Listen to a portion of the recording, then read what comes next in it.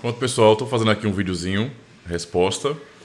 A, a irmã Elane Ferreira, né, ela perguntou, pastor, e qual é a visão da Igreja Reformada a respeito do Natal?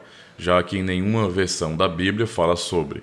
É, portanto, uma tradição pagã? Sua confraternização seria abominação para Deus? Ou deve se relativizar? Ou. É, é, em relação a cada cristão, né? Decida com moral ou não. E a respeito do véu, como é que a Igreja Reformada explica 1 Coríntios 11, no capítulo 11, no caso?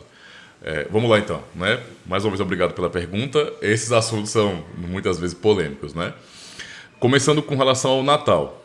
É, com relação ao Natal, basicamente nós não temos um problema uh, em festejos, né? em comemorações. Não tem um problema. Existe uma problemática criada por uh, muitos cristãos evangélicos, não é? Para demonizar a prática do Natal, talvez porque católicos romanos geralmente é, comemoram também, né? Ou então porque não é uma prática que tem uma, uma, uma origem bíblica, não é? Então meio que é como se fosse assim: se você não tem a escritura dizendo para comemorar o Natal, logo não comemorar comemorar o Natal do caso seria algum tipo de perversão bíblica, infidelidade ou paganismo certo? E na verdade, nem tudo o que a escritura não ordena fazer em termos de práticas é, festivas, não é, ou qualquer outra coisa assim, é uma coisa errada. É uma questão muito mais cultural. É, então, há pessoas que levantam, por exemplo, problemáticas com relação a isso e, e querem tentar achar origens pagãs para o Natal. Eu já tive problemas com isso no passado, com relação a, algum irmão, né? Eu lembro de uma vez que um irmão é, veio com a teoria, porque estavam conversando sobre isso, isso muitos anos mesmo.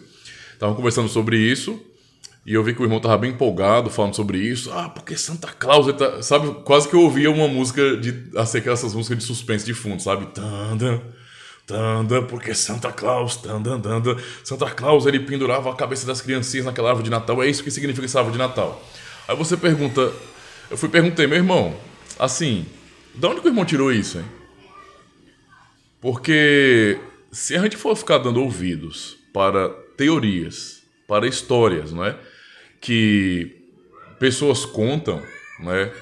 Teorias que elas desenvolvem, tipo, pensando, combinando uma coisa com outra, tentando achar um significado para as coisas, nós vamos começar a condenar um monte de coisas que não tem, na verdade, peso nenhum. Não é problema nenhum se um cristão não gosta muito da cultura festiva natalina, alguns que vão ter críticas com relação, ah, mas aí é uma questão muito de comércio, né? É só de vendas, marketing, empresa ganhando dinheiro, nada tem a ver com Cristo. Isso é, Cristo são um, um fetiche, na verdade. Tem a questão dos próprios católicos romanos, com, com relação a presépio, a um monte de coisa. Sim, são usos distintos, não é? De uma celebração acerca do nascimento de Cristo. Então, uh, a priori, qual seria o problema de cristãos celebrarem o nascimento de Cristo? Não, não é necessário uma ordem para isso na Bíblia, porque não tem a ver com culto, né? Não tem a ver com culto. E ao mesmo tempo, o nascimento de Cristo é um evento redentivo, não é? Então, comemorar um evento redentivo, eu não vejo qual o problema com relação a isso. Isso vai variar muito da cultura, não é? Da comunidade, a cultura local. Isso é, isso é uma coisa que realmente pesa muitas vezes. Talvez para uma comunidade específica, Uh, não haja problema em fazer isso. Então, uh, igrejas reformadas, algumas con é, convocam, por exemplo, um tipo de, é, de reunião ou algum culto festivo, não é? Uh, que tenha esse tema. Ou seja, a ideia é usar o tema do Natal para falar sobre o nascimento de Cristo. Né? Então, usa-se o tema para poder anunciar esse evento redentivo, para falar sobre ele. Então, é aproveitar, é se apropriar de uma prática cultural ocidental, bem ocidental já, né? Para falar sobre o, o, o, que está sendo, o, o que está sendo apontado no Natal. Então, aquilo que as pessoas é, é, usam de maneira indevida não pode ser justificativa para que eu não possa usar, não é? Sendo que o meu objetivo é realmente usar de maneira que glorifique a Deus e que ensine sobre Jesus Cristo. Então, nenhum problema. Eu, como cristão reformado, não tenho nenhum problema com relação a Natal, a se alguém quiser comemorar. Tem uma árvorezinha aqui na minha casa, não tem problema nenhum, porque não, é, é suponhamos que no passado, sei lá, 3 mil anos atrás, houvesse algum tipo de origem pagã para uma árvore enfeitada. O que, que isso tem a ver com a cultura ocidental? É, nada. Absolutamente nada. Às vezes a gente precisa, precisa tomar cuidado para não fazer um link não é, da nossa vida hoje no Ocidente com coisas que vieram muito antes de nós, não é? Que não tem nenhuma aplicação ou significado dentro da nossa prática cristã. Entendeu?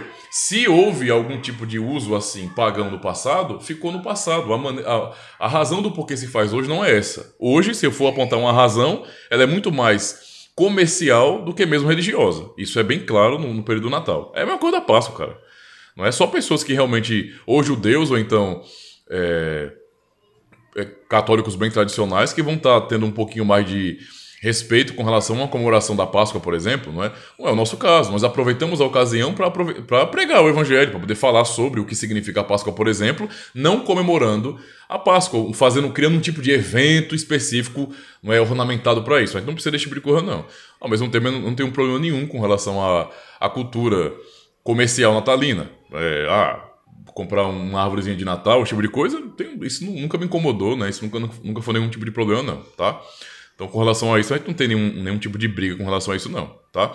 Uh, é claro que existe, desde o século XVI, divergência sobre se faz ou não, não é? Só que como não é uma questão que está envolvido diretamente com a doutrina da palavra de Deus, ou é ordenado de alguma maneira, eu não acho que é, é um assunto que vale a pena é, é, brigar, né? É, tipo, tenha causa divisão. Tanto é que nunca causou divisão de verdade esse tipo de assunto, né? Tem irmãos que têm opinião assim, assim, assado, simplesmente não fazem. E aí fica tranquilo. Não é? o nosso, a nossa preocupação é se estamos ou não desobedecendo a palavra de Deus. Se não é o caso, então vamos seguir em frente. É mais uma questão de gosto, não é? Do que é, uma questão de, de liberdade cristã ou então de, de consciência pesada por causa de pecado. Não tem nada a ver com isso, não. Então, eu pessoalmente não tenho problema com isso. E não vi, não conheço nenhum reformado, né, das igrejas reformadas que tenha um problema sério, grave com isso, não. Né? Há irmãos que preferem, outros que não. Né? Eu não faço comemoração nenhuma, não, não tenho nenhuma vontade, nenhuma necessidade de fazer isso aí. Do, do, outro lado, se a comunidade quisesse bem assim, passou, porque a gente não aproveita também, como muitas igrejas reformadas, não realizamos algum tipo de encontro né, no, no, dia do.